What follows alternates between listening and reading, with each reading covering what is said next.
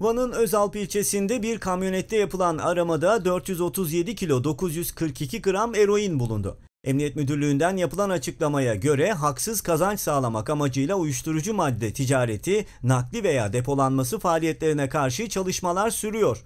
Bu kapsamda Van Emniyet Müdürlüğü İstihbarat ve Narkotik Suçlarla Mücadele Şubesi ile Özalp İlçe Emniyet Müdürlüğü işbirliğinde gerçekleştirilen çalışmalarda Özalp ilçe çıkışında oluşturulan uygulama noktasında şüphe üzerine durdurulan bir kamyonette arama yapıldı.